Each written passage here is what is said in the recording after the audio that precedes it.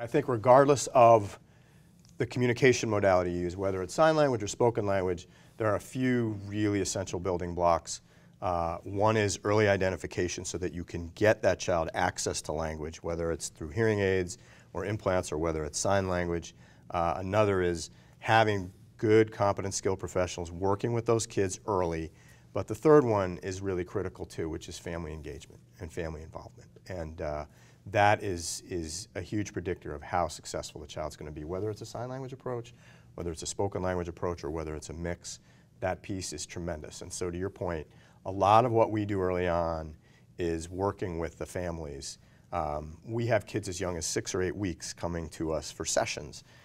It's pretty limited what we're going to be able to do with those kids, but for all of the other hours in the week, when they're interacting with their family. It's really their families that we're working with to show them here's how to help develop that listening and spoken language for your child. Here's how to enhance that as greatly as possible.